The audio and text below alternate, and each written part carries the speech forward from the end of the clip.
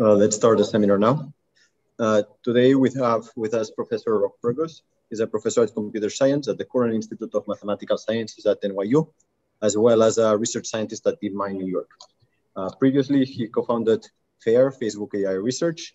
Uh, at the very beginning, he received a master's in electrical engineering with Professor Pietro Perona at Caltech before completing a PhD with Professor Andrew Zisserman uh, at Oxford. And then he spent two years here at MIT CSAIL doing a postdoc with, with Professor Bill Freeman. He has received several awards, including a CVPR Best Paper Prize, a Sloan Fellowship, and an NSF Career Award. I'm very excited uh, to hear today from his work on two of the biggest uh, problems in RL, data efficiency and effective exploration, and how a clever design of unsupervised representations uh, can help us get, uh, help us tackle them.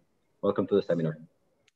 Great, Fern, thank you. Okay, so yeah, so today I'm going to talk about uh, actually uh, two topics. The title's a little bit misleading.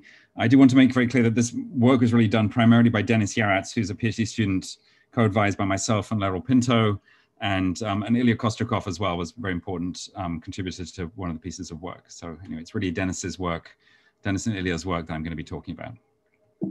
Um, so just to uh, say, I'm going to talk uh, start off by talking about data augmentation and its role in um, getting efficient um, learning in for image-based reinforcement learning. And then the second part of the talk will talk about essentially, so this is, you know, the first part is really going to be about, you know, um, standard uh, sort of RL where we have a supervisory signal. The second part is going to be about unsupervised reinforcement learning and what we can do there. Um, but but but the, I guess a commonality between both pieces is really going to be about sort of representation learning for reinforcement learning.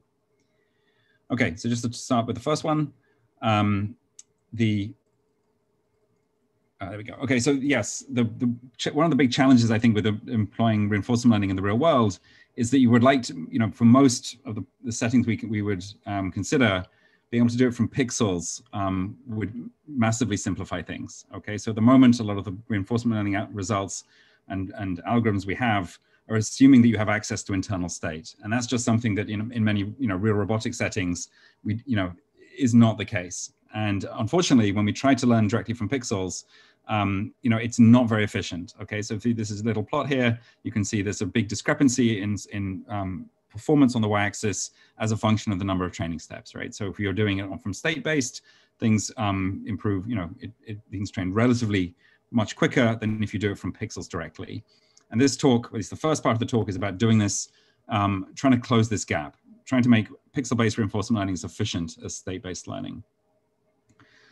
Um, okay, and so I'm so I'm going to present two sort of papers which uh, direct, directly address this problem. So the first is called image augmentation is all you need. Um, this is work by Denis and Ilya, um, who PhD students of mine at NYU. And then the second piece of work is essentially sort of an improvement um, on the first idea, which is mastering visual continu continuous control. And this was really more Denis's work exclusively. Okay, so one to just understand the problem here at hand, why can't we learn from pixels directly in an efficient way? And the essentially the big one of the big problems here is illustrate reasonably performant underlying RL agent, say soft actor critic.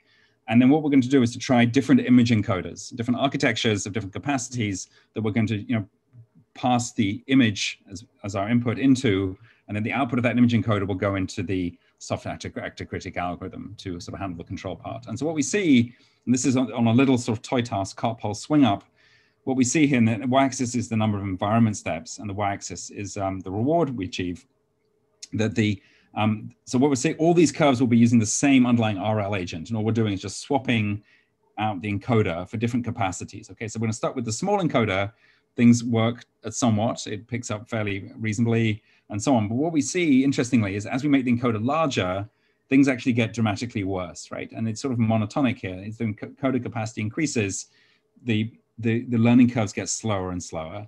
And so what we're seeing here is a sort of dramatic um, sort of overfitting, essentially, when we try to train these um, large capacity image encoders that you would think, you know, you'd think the, having a better image encoding would help you. But unfortunately, you know, just we're in this sort of, you know, information style setting of reinforcement learning, and that we just overfit, you know, catastrophically in this scenario.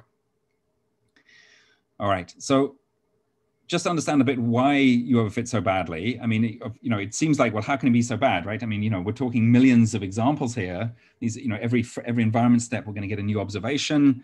You know, millions of images should be enough to train a reasonable image encoder. We you know we, that would be a, a, decent number if we were doing some sort of image classification task. Um, but of course, the difference is in reinforcement learning is that you know what's happening here is the images are not independent, right? They're highly correlated because what's happening is you're just dump every at every step you're just dumping them into your buffer and they're you know they're coming from a common trajectory that you know the subsequent frame is really going to be very similar to the previous one. So that even though we might have millions of um, you know images that we've you know, we, uh, millions of observations that we have experienced um, it's not going to be in the, they're not going to be independent from one another. And this is the underlying reason so as a result you know our sort of you know underlying RLA algorithm is going to have targets so if you're doing q-learning your target's going to be very correlated and that's where you get this sort of nasty overfitting um, um, phenomenon. So how do we go about breaking this? And so the, the first part of this talk is really about this pretty obvious strategy, which you know is widely used, of course, in computer vision, is just to use image augmentation. And um, and surprisingly, this has not been really employed very much up until now in uh, reinforcement learning, or at least until the last year or so. Um, and the and what would it's really just to try and reduce overfitting. It's not really to do anything more fancy than that. And that even if you just do some very simple image augmentation with random shifts, where you're just going to shift the image a few pixels either way, and this will actually provide a, a quite a dramatic um, important performance improvement. And I'll talk more later on about sort of different types of image transformation that we tried and so on. But just for the moment, we're just going to consider very simple random shifts of the image. Um, and, so, and to understand where this is going to be employed, you you know, you have your environment, you know, your observations go into some sort of replay buffer, and what we're going to do is when we sample from the replay buffer for our, from our, for our RL agent, we're going to apply some sort of augmentation to the, um, to the states, in this case, the images. And that, so that augmentation could be different every time we draw the same um, entry from the replay buffer. And then, so the algorithm here will be training on augmented versions of these observations. And then from that, you'll be getting some, producing some action to, to employ. So it's a sort of, um, yeah, straightforward enough uh, insertion to your standard sort of RL pipeline, uh, the way you're going to train this thing. Um, so just understand a bit what happens in that little toy example that we looked at. So previously we saw this is, so the left-hand side here will be the, the SAC out base RL agent and image encoder with no augmentation and we see the overfitting. And the right-hand side is going to be what happens if we just do very simple image augmentation where we're just doing plus or minus four pixels either way, you know, random up to four pixels, as it were, in X and Y. So you consider these to be sort of crops where you're just going to sort of pad the image with zeros um, uh, on, the, on the boundary. So it's really, it's really that simple. I pretty much described the entirety of the augmentation. Um, so what's going to happen, so even though things look somewhat similar when you have small encoders, what's fascinating is that, you know, as you now go to the larger encoders, with this simple augmentation addition, everything now sort of works roughly comparably you don't see the crazy overfitting that you saw before. Okay, so that's a sort of, you know, really, I think in a simple way demonstrates the importance here of augmentation, just reducing this nasty overfitting problem we saw before. Okay, so um, so just to, there's a couple of other strategies that we can employ um, that form the overall algorithm, which we call Dr. Q. So the, so the zeroth order is just simply whenever you sample from the replay buffer, just you know shift the images around. Um, if we're doing, if we're using a Q-learning based agent, then we can also, we have targets that we're trying to regress against in that Q-learning algorithm. And we can, you for those targets can be produced by using augmentations as well. So this is the, this is your, the, your Q-based target. And instead of just this being, you know, a, a state you've, um, some future state S prime, what you're going to do here is you're going to sort of augment, you know, modify that state with um, some choice of augmentation, i.e. some delta X, delta Y choice for the crop. Um, and then you, you can average then over sort of, you can choose how many of those augmentations you want to average over. So that's a hyperparameter of the algorithm, K, and that will produce your target for your particular um, data sample Xi. Um, and then a second strategy is you can regularize the Q function itself. So you could just, um, again, so I is the index over the data samples. You have M would be sort of various augmentation choices you would use for the Q function itself. So you would just randomly sample you know, different delta x's and delta y's to apply to your image SI, and then you would average over that uh, result here. To, and this would be used when you're doing your update on the parameters of your um, in your encoder, image encoder, and the policy network as well. Okay, so just to show what happens when you sort of vary these two hyperparameters. So if k equals one, m equals one, then all you're doing is the same basic data augmentation that we saw on the previous slide. Um, if you, this is a, um, a, different task here, to run, shows the differences more clearly.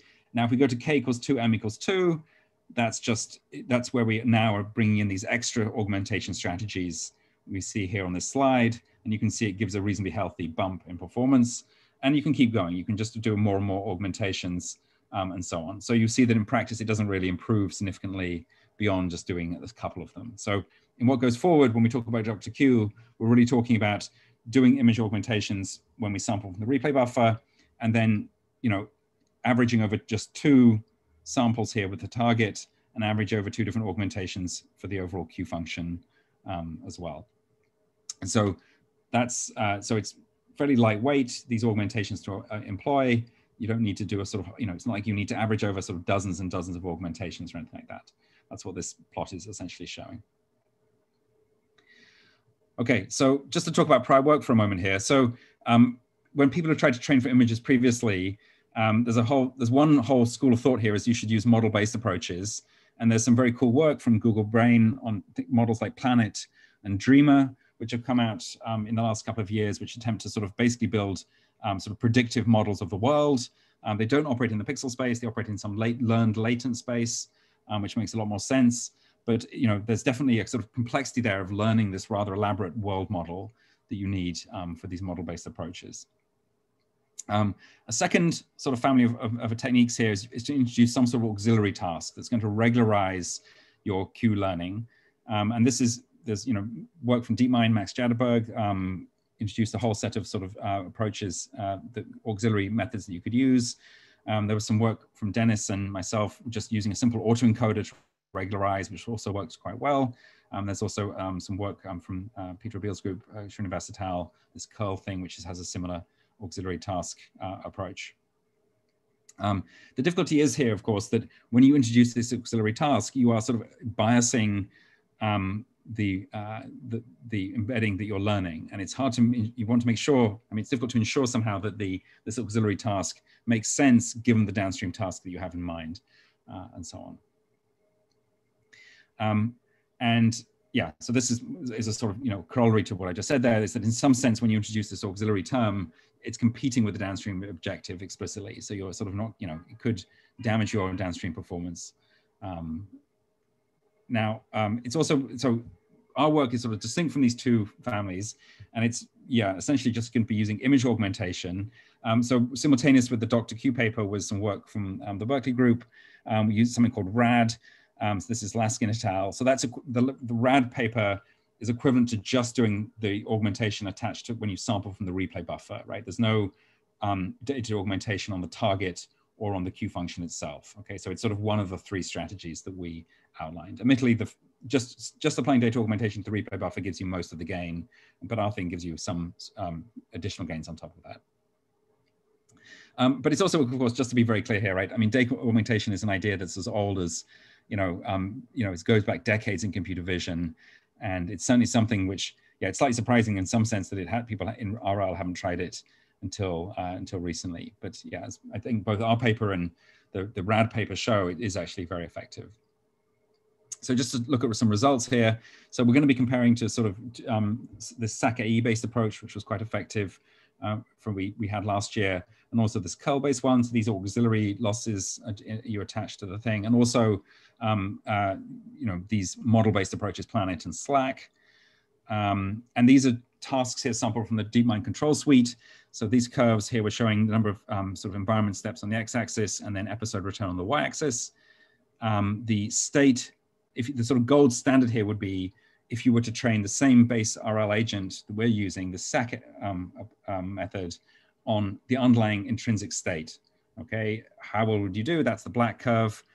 As I mentioned at the beginning of the talk, what we're trying to do here is, you know, if we work directly from pixels, can we get the same performance? And you see that here, the, oh, the green curve, which is Dr. Q, is doing something fairly comparable to training from the underlying state. So it's a little bit better in some examples, just because the underlying state might not be the optimal representation, and a little bit worse in this one on the right-hand side here. And you can see it's certainly you know as good, if not better, than the other approaches out there that we're comparing to.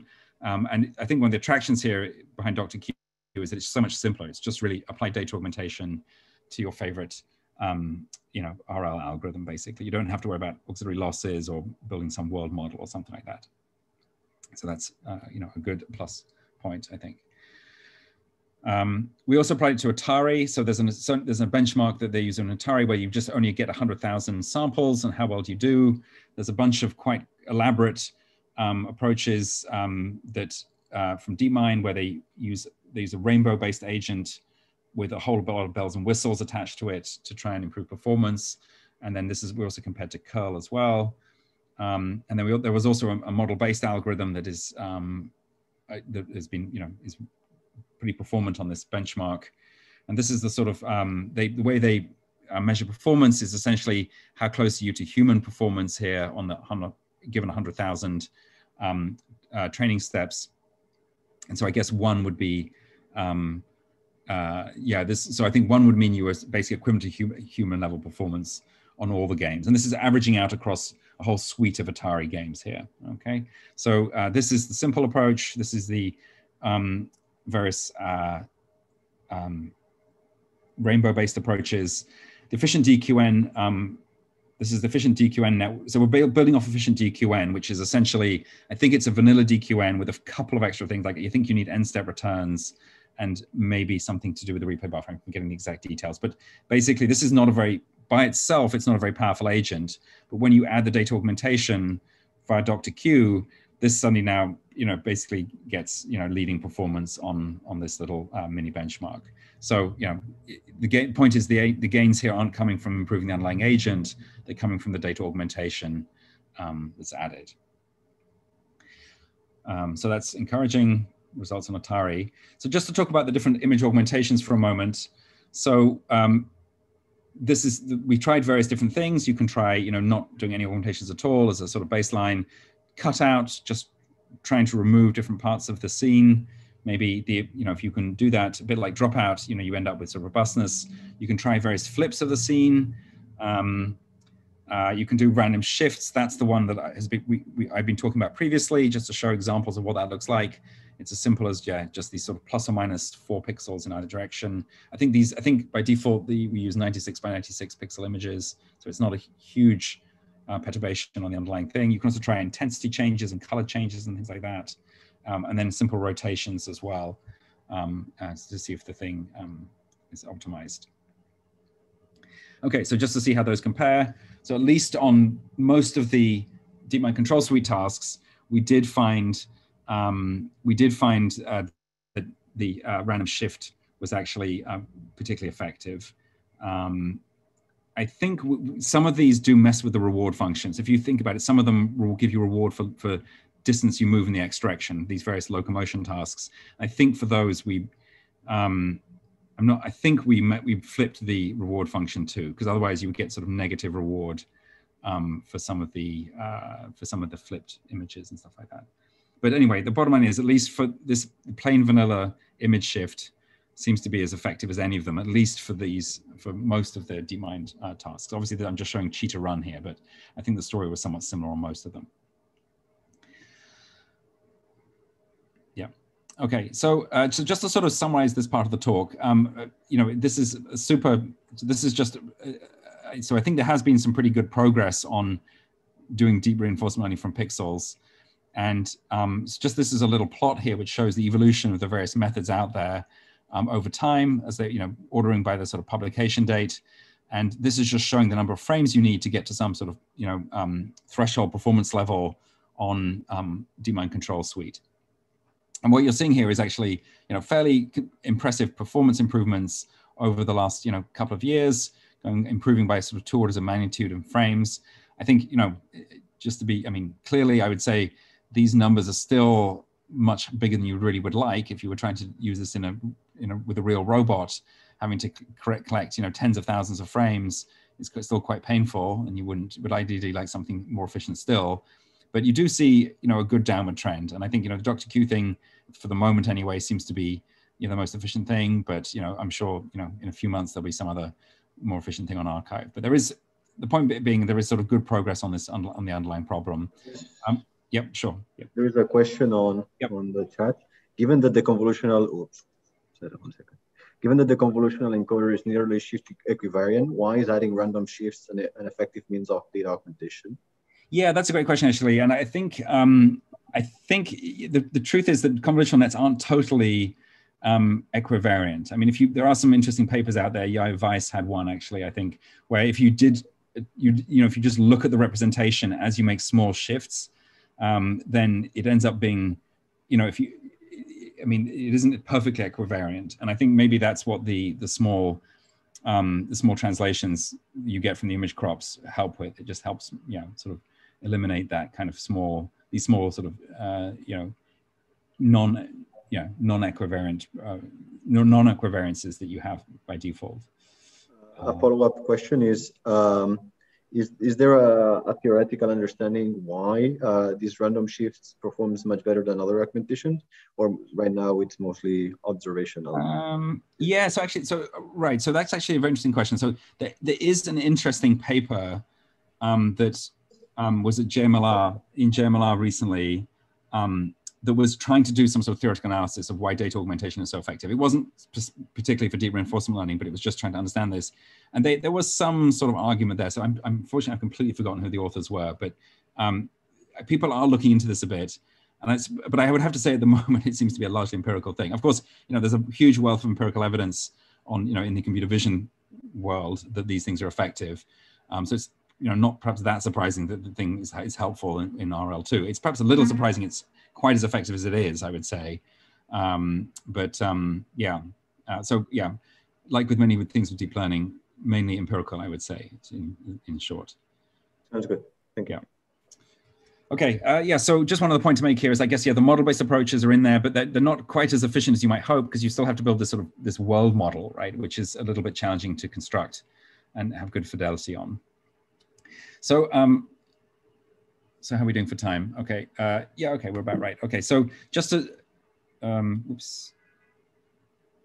Yes. So um, so just to move on a little bit here, um, where the one of the so one thing is that these deep reinforcement learning algorithms, when they apply, you know, model the model free variants, when you apply them to these more complicated problems with more degrees of freedom in the action space and, and things like that. Like the so the prototypical one here is humanoid. So if you think about it, this little um, humanoid task, you have all the degrees of freedom of each limb. And in practice, it ends up with a very high dimensional action space.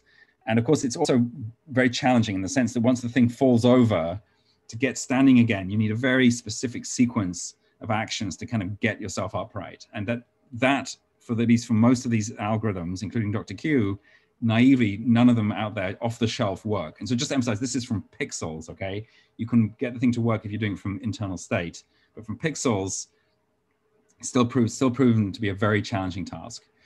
Okay, and so you know for these simpler ones, you know as I was showing, you get good results. More complicated things, um, it's still at the moment not working very well. So how would we go about solving these complicated tasks? And sort of philosophically, you know, one thing you might say is, well, maybe image augmentation and stuff like that isn't enough.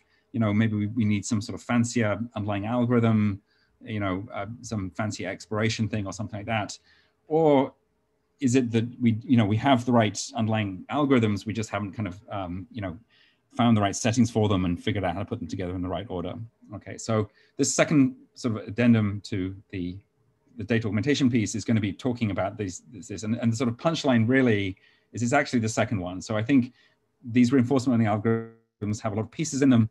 It's actually very difficult to optimize them together effectively and find out and so a lot of times i think when people see things see things are not working instead of and then they go and write some complicated paper with lots of equations um, in practice i think a lot of times you can actually just get you know there are lots of great things out there that just need kind of with careful tuning and good engineering you can get to work and this second piece is very much in that flavor so what we did here was to sort of start looking closely at the very various key components in dr q so you know first of all, the base agent, SAC, all right? So is that really the best thing out there? So it turns out after some sort of careful experimentation, the, the sort of received wisdom was actually not quite right. And we turned out, found out that an older algorithm, DDPG, this is, um, uh, uh, was it, what is it? Uh, sorry, I'm completely blanking on the DDP. It's data, is it uh, deterministic, um, was it data-driven deterministic policy gradient? Sorry, I'm slightly blanking on what the, uh, the two Ds are um, from DeepMind.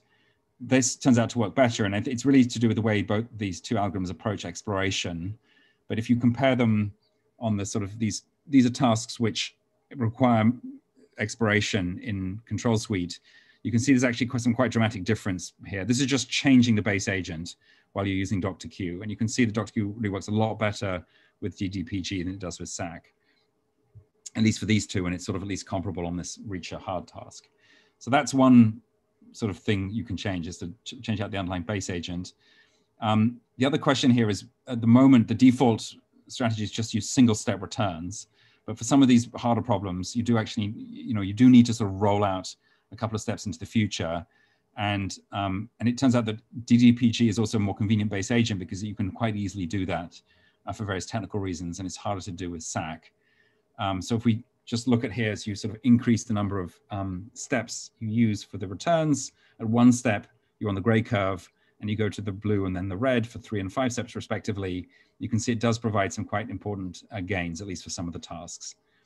Um, so that's another sort of important thing you need to add to the mix. And then finally, another one more on the engineering side is just what happens if you use a bigger replay buffer.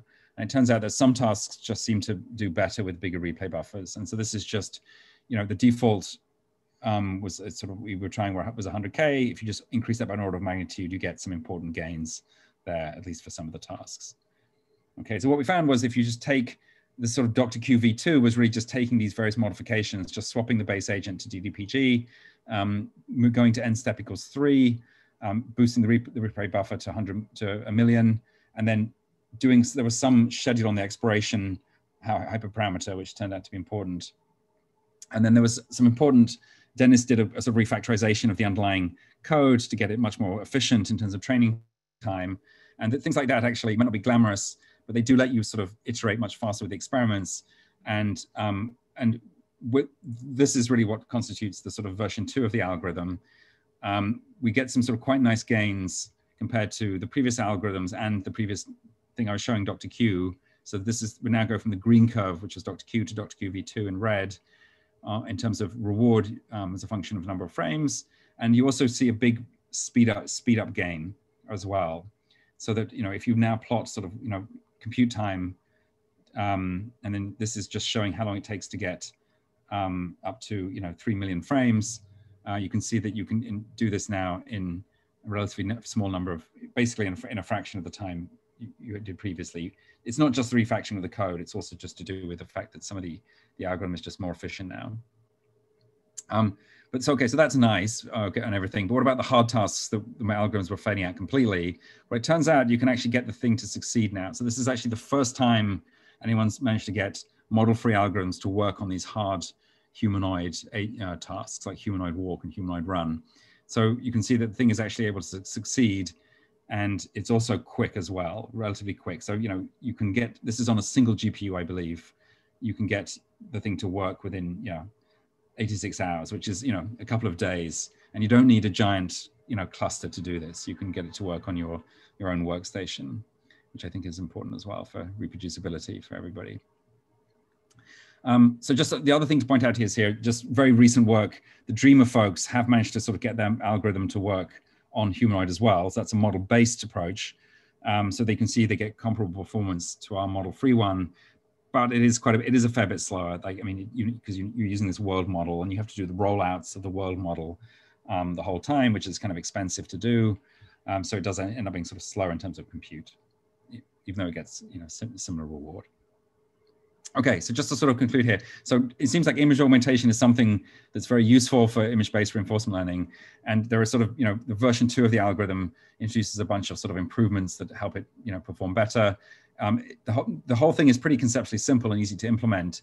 But um, if you do want to, you know, this code online, high quality code implementations for both Dr. Q and Dr. QV2, if you want to try it out, Um, and it is, you know, the, the, version two is the first model-free approach that was able to solve these humanoid tasks directly from pixels. Um, it's also worth, I think, saying that, yeah, I think Google, people, other people have tried, have re-implemented this successfully. So, you know, it's hopefully one of the more sort of easy to reproduce, um, you know, reinforcement learning algorithms out there. Okay, so that's the end of the first part of the talk. Um, are there any questions people want to um, raise at this point? we go on to the next part? Okay, nobody's shouting from the rooftops. Okay, so just to move on to the second piece. Um, so this is about reinforcement learning with prototypical representations. And this is uh, really sort of Denis's idea and work. And then the rest of us were just sort of giving him gentle assistance along the way. Um, so just to talk about the limitations of what we've been describing. So we still, all the DrQ stuff and all the other methods I was mentioning still require a reward signal. You have to have a task in mind um, that you're, you're going to use. And so that does mean that the representations you end up learning will be task dependent and you know aren't guaranteed to transfer well to perhaps new tasks that you didn't consider um, when you were doing the initial training. And so the challenge we're going to consider now is what happens if you don't have any explicit task in mind? How can one learn in essentially an unsupervised way? And what we're looking to do here is really replicate the same kind of setup that's proven so successful in computer vision and NLP, which is can you pre-train in, this, in a self-supervised or unsupervised manner and then fine-tune the resulting model on a sort of per task basis downstream uh, and so on. That's, you know, can we do something like that in RL? Um, and so, and so then, you know, that's the this challenge we're going to address. So one of the big challenges is that um, in computer vision and NLP, you already are given a, great data set, or at least you, normally you are, and that um, usually what, things like if you think about things like GPT-3, huge amount of energy was invested in constructing a beautiful, massive data set to work with. But in RL, of course, I mean, the fundamental issue with RL is you, you have to collect your own data. Um, and that gets us into a bit of a problem because in order to do good represent self-supervised representation learning, we're forced to confront the exploration problem. There's just no two ways around it. And of course, and the problem is, of course, these two things are coupled, right? If you don't explore, then you'll learn the state representation that's really good for the little neighborhood that you visited, but will be hopeless perhaps for you know some you know the rest of the state space that you didn't discover. And flip side is if you want to do effective exploration, you've got to have a reasonable understanding of the states you've already visited. Okay, so the two halves of this problem are kind of coupled, and any reasonable approach for self-supervised learning here has to really factor in the exploration piece um, effectively. Okay, so let's just talk about task agnostic exploration for a moment here uh, before we get to the overall algorithm. So if you're not going to make any assumptions about the task at hand, there's not a whole lot of things that you can really use here to sort of drive exploration. I mean, you're basically what it comes down to is if you're you, you're going to have to fall back on some sort of information theoretic thing like entropy. And that's really what we're going to base our thing off. So the, the thing we're going to use is not is going to be essentially looking for some sort of uniform state coverage type idea, um, which you know people have formalized in the sort of maximum entropy framework. I'm not going to just go into the details of these equations, but I mean, this the basic idea is yes, to sort of have a uniform state coverage. In practice, these sorts of measures are very hard to compute because it requires some sort of crazy integral of all the states. Sorry, x here is the state, not s. But if you you know you, you can't in practice compute these things, and so what do people do? Um, is uh, yeah, so this would be you know, some integral over some very large uh, dimensional state space. In practice, there are approximations that people can use where they'll do some sort of um, nearest neighbor approximation. So essentially you'll look at sort of the distance to some sort of nearest neighbor and use that as a some entropy-based measure. Um, but you know, it's still not obvious how one would employ this uh, for our problem because computing this norm is kind of meaningless for images. And furthermore, doing nearest neighbors over an entire data set of, of, of your in your replay buffer is going to get expensive pretty quickly uh, to do this at every time step. So it's not, you know, these are sort of useful ideas, but then you can't directly employ them, I think, in our setting. Okay, so what we what we end up doing is to um, we're going to be doing using an entropy-based measure, this this can this approximate entropy um, based measure thing, um, as an exploration reward, our hat of t, um, that will again that will operate in the latent space. That's the first thing. So we're going to have some encoder which will produce an encoding z of each um, image x, and then that's the first part. So we're not going to be doing it in um, sort of L2 pixel space or something crazy like that. Um, but what we, so we'll be doing it in L2 in the some learned embedding.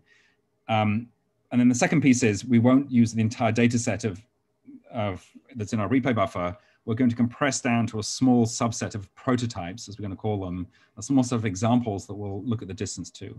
And so the intuition here is, you know, if you're if you're a long way, if this distance is large to the nearest prototype, then you get a good um, intrinsic exploration reward. Okay, so you want to be visit, you get good reward, exploration reward for visiting states that are a long way from sort of you know these prototypes that summarize the states you've seen previously. That's the um, intrinsic reward signal we're going to use. Okay, so just to understand it, the naive way of doing this would be to do some, take something like bootstrap your own latents. That was um, a successful, it's a successful um, self-supervised learning approach in the image domain. One can imagine um, sort of uh, using this idea. So the idea would be you would take your, your input uh, frames, augment them, um, and then you would have some learned representation and pass them through an encoder, learn encoder f theta, get some representation, and then you would get some, um, uh, you could train this alongside, so this would be the naive version of doing this. You could, if you did have some sort of uh, task at hand, you could use the reward signal from that alongside this cross entropy loss that, we, that um, I've been describing. Okay, and then the way you could do this, uh, this would also use this pathway here would be you'd have some sort of you know moving average encoder that would also encode the same data, and then that would provide a sort of target that you would try and. Um, uh, so this would be your self-supervised learning type objective. Sorry, I am slightly messed up the slide. Let me just skip over to actually what we end up doing. So the big challenge, of course, with doing this sort of thing is that you are dependent here on the underlying. Um, uh, you're dependent on the underlying task, and we don't, as we I mentioned, we don't want to do that. We don't want to be dependent. So one thing you could do is just have your self-supervised learning objective, which is going to be this cross entropy loss that I was describing, and have a stop gradient here. So this thing never gets to sort of influence the representation you learn, never gets to influence your encoder f of theta.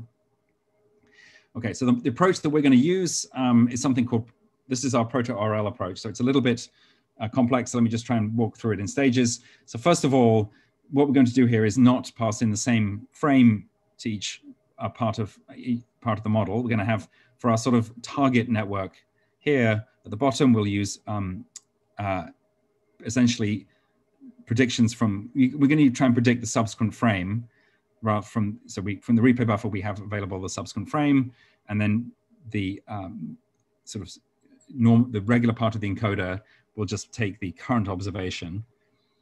And then you'll have data augmentation. So that's going to be things like image crops, rotations or whatever um, we will have, we're going to learn both the image encoder, that's f theta, and then the other part of the net, this whole framework we're going to be learning are these prototypes. So those will be the cluster centers, if you like, in the latent space. Um, and what's going to happen here is we will have the, the, the intrinsic reward is going to be um, computed from these prototypes. So that's the, um, the formula I was showing previously, the, that does nearest neighbor to the uh, intrinsic uh, prototypes.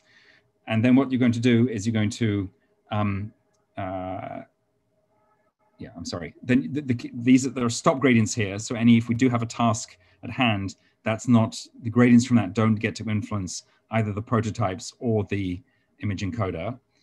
And then we also, um, I'm sorry, this is wrong. Sorry, this is not correct. This label. Sorry, this is just this is the standard um, uh, cross entropy, sorry, this is the idea with that you should be able to predict the target values from the, um, predict the values for the next frame. Sorry, let me just rewind. Um, for, for each of these, um, you take your current um, embedding, that's v theta, and that's going to be, you're going to do the sort of inner product of that with each of the different prototypes. And that's, you're then going to end up with a softmax describing essentially how each of the prototypes, you know, models the current observation that you have. Okay, and that vector should be the same as, you want that vector to be the same as the vector you get from the target um, pathway down below, which is doing the same thing. Okay, and sorry, so this is this is a wrong label here. I apologize. So this the idea would be that those two sort of softmax distributions over the prototype should be the same from, from the online network and then the target network. Okay, and that's just a sort of cross entropy loss it's sort of self. So it's the same. This is the whole bootstrap your own latents idea um, that's employed here. Um, we do also have a sort of there's a sort of important step here where we do do the SwAV. So if you're familiar with the SwAV work in computer vision, we do a sort of clustering over. So the question is, how do you then update the prototypes? Well, you want the prototypes to, to uniformly spread and give coverage over all the states you visited. Okay, so if you do a Sinkhorn type clustering over the over the states you have in your buffer, that actually ends up doing. So we don't use the full buffer. We use up ends up using several batches, I believe, to make it more efficient. Um, then that gives that sort of re reassigns the, the, the prototypes that's how the update's done there. Okay, so the, the idea is that um, over you know some set of, of data batches, each cluster center is used the same amount of the time. Um, yeah, so this is this this is this is an update. That's how you update these prototypes.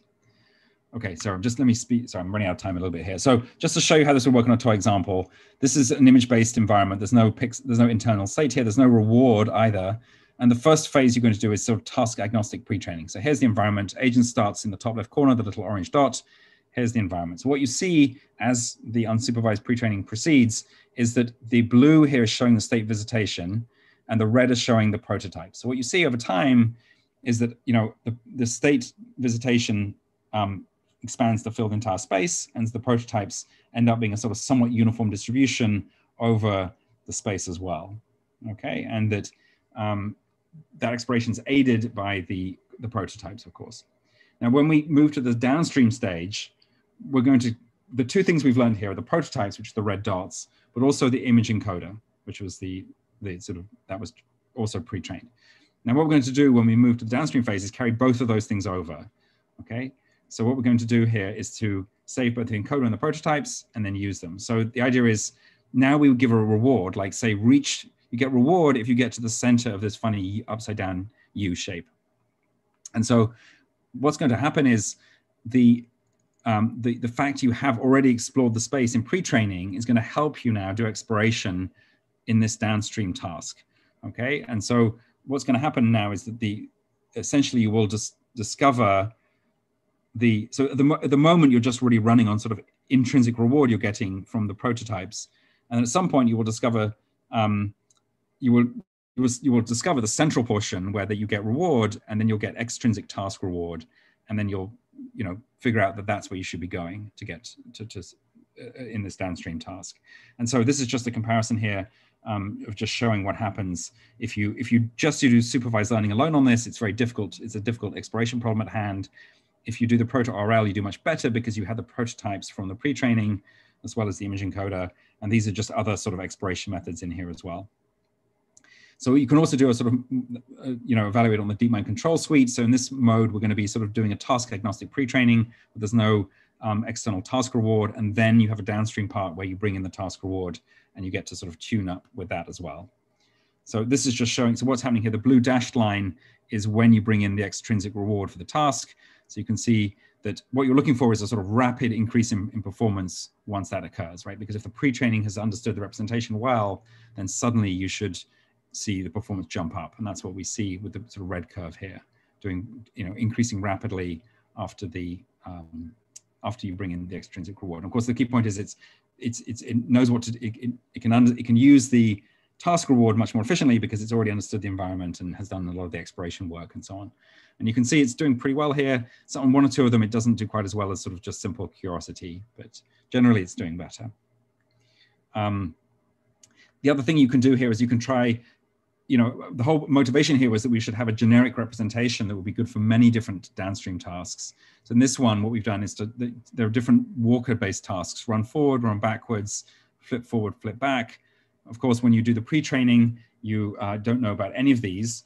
So you do the pre-training with the with the proto-RL setup, and then you, you know, at a certain number of um, uh, steps with task reward, you evaluate performance using sort of these off-the-shelf um, methods.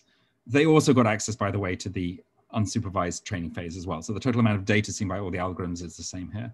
And you can see in this case, it's doing, you know, you know, a little bit better perhaps than some of the other approaches out there. And in this one on the right-hand side, the reach Duplo, it seems to be doing uh, significantly better. Um, um, and I think this is just showing um, how many, uh, sorry, I guess I'm, this slide, yeah, I just, this one is just in, seeing the importance of exploration. So this is, I think, varying the amount of pre-training experience you get. And so what you see here is you do more pre-training, but you have the same budget during the super during the supervised phase where you have task reward. Um, you can see here that uh, the, the more time you get to explore the environment in an unsupervised way, the more the better you do downstream, essentially. So this is analogous to sort of increasing the size of your pre-training data set, basically. And it does clearly help. Um, and, and sort of other, it helps other algorithms too, but it's, you know, definitely makes a difference for the proto-RL. Um, so just to say, there's Denis has actually done some um, done some work with um, recently with the Berkeley folks, where he's got a sort of benchmark for benchmarking all these unsupervised RL algorithms. It's a little bit of a sort of and this is, they've got various different tasks and these are the different algorithms and so on and so forth. So if you want to try that out, you can do that. And Denis has also got um, a nice code repo where he's got all these different things implemented alongside proto-RL. So you can try them all out if you want to. But this is random network distillation, you know, um, I forgot what ICM is, um, but there's proto-RL. So yeah, Denis is a, Denis is a super awesome engineer. Um, so he's, these are the code I think is very clean for these things if you want to try it. Okay, so just to wrap up, and then happy to do questions. So yeah, proto-RL is an efficient way to kind of do pre-training and reinforcement learning. Um, it's, the basic idea is to sort of have these prototypes kind of summarize you, the states you've visited so far and use them to sort of drive exploration and then carry them over to the sort of downstream phase as well. Um, and I think there's actually some, some definitely some open directions there. I mean, the way we were using the downstream thing seemed to me at least a bit naive. Probably a few things we could improve there for sure. Um, and it does give these sort of state-of-the-art results on sort of this task agnostic pre-training setup. Um, that's you know there's, there's, there's kind of analogous to what we have in computer vision and NLP, but in the RL setting, um, at least RL from images anyway. Okay, so that's the end of my talk. Yeah, happy to take questions and things like that. So. Awesome. Thanks a lot for the great talk. Um, okay, so now, given the hybrid setup, it's a bit awkward for those in person, but if you're in person, you can just speak up and I'll, if Rob doesn't hear you, I'll, I'll repeat the question. For those on Zoom, you can unmute yourself uh, and ask the question or otherwise write on the chat if someone else is, is, is asking a question already. Uh, I, I, can start doing things up. Um, I have a question about the very beginning of the talk when you were talking about overfitting mm-hmm. and the fact that bigger encoders um, kind of do worse. Yeah. Um, you mentioned when you were saying, oh, uh, there's a million examples and million seems like a lot, you, you mentioned that the samples were correlated. But I had a related question about this, which is um, recently in, in deep learning, there's this conjecture that bigger is always better. And then there's this implicit regularization on big models plus gradient descent that somehow still finds simple solutions for supervised learning. Mm-hmm. But I was wondering if you think that this does not translate to reinforcement learning or exactly what might be going on uh, on this on this yeah that's good well i mean i think what'll be interesting thing there would be to create a kind of highly correlated kind of you know image recognition data set or something like that where you you know you make you make a whole bunch of your data set's large but you know it's really the same few images just with highly similar versions of them. I mean, video is actually a good example. Like if you took like a million frames of video, would you get? My suspicion would be that you would overfit quite badly there compared to, you know, um, even you see something similar going on here, basically. I mean, I mean, sorry, I mean, in some sense, this is taking video, if you like, but it is slightly different in that you have. Um, I mean, I'm, was thinking more of like, you know, action recognition type video or the type tasks if you wanted to, to check that. So I, yeah, I guess yeah, it's an interesting point. I, I um, well, I mean, I'm saying empirically here, it's a fairly simple experiment to, try out, and I think others have seen the same thing subsequently. So, you know, it's an at least in RL, it seems that things, um, yeah, the overfitting seems to occur. Yeah, like totally not not questioning the experiment itself. I, I was just wondering if there was a kind of a yeah. Yeah, uh, um, yeah, I don't have a. Yeah, yeah, I mean, yeah that, that's interesting point to explore further. Yeah. Um, on the um, on the second part of the talk, I didn't uh, really understand um, what, how do you prevent the curiosity reward from drowning up the extrinsic reward uh, on the. Yeah, that's yes, that's that's right. So that's right. So you um, you do there is a sort of important scale factor there between the two, um, so that you do sort of have to know ahead of time, I suppose, that the extrinsic reward will have a certain scale range, I suppose, um, and and then scale your kind of intrinsic reward appropriately. Yeah, so that's true. That's a that's some. It seems unavoidable that because otherwise I don't yeah. see how you would. Um, I mean, if your extrinsic task, you know, you know, one e minus six is the extrinsic reward, then yeah, it would definitely screw everything up, right? Um, so. Makes sense. Makes sense. Uh, any other questions? Actually, I have a question. Mm-hmm. Um, it's it's kind of related to the overfitting question. Mm-hmm. Have you also observed this if you put in some recurrent model um, rather than just the soft actor critic? So we we've actually had some similar experiments where we do use uh, LSTMs.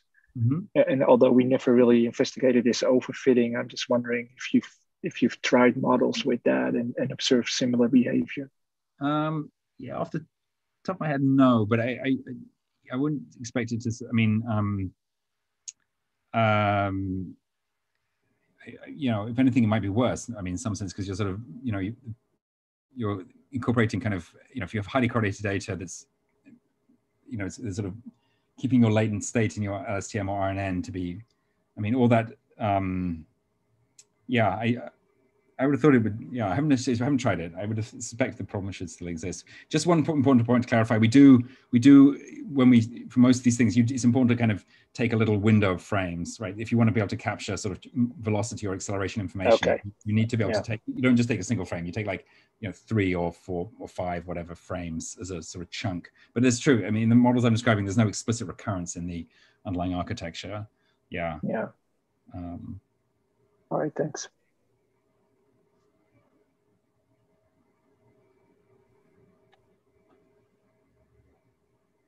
Other questions?